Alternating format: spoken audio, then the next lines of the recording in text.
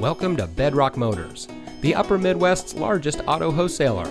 And here's a look at another one of our great vehicles in our inventory and comes equipped with steering wheel controls, heated door mirrors, navigation, rear view camera, Bluetooth smartphone integration, alloy wheels, heated front seats, roof rack, rear spoiler, parking sensors, and much more.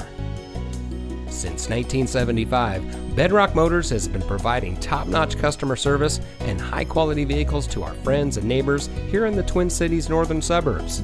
We specialize in lifted trucks and Jeeps, and we ship inventory from all over the country. We pride ourselves on having the best pre owned vehicles on the market and are happy to offer quality vehicles at an affordable price.